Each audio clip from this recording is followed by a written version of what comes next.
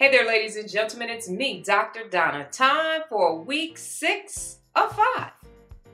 Ladies and gentlemen, last week's book, Billions, unfortunately did not make it through the Real Leader Book Meter. There will be no review this week.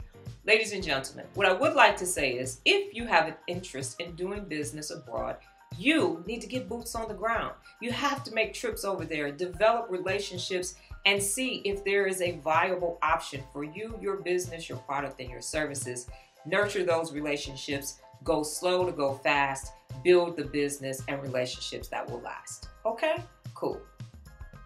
Ladies and gentlemen, last week's risk was all about changing my diet. I have incorporated new and exciting live food, raw foods into my diet. And oh my goodness, my tummy, my life, my brain, every part of my body is like, oh yeah, oh yeah, oh yeah.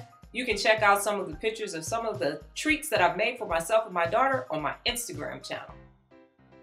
Ladies and gentlemen, this week's book, Ecclesiastes. Well, that's my time, ladies and gentlemen. But before I get out of here, just remember the strive for five. Take risks and thrive, and thrive, and thrive. Come on, y'all, thrive and thrive. I'll see you guys next week. Adios.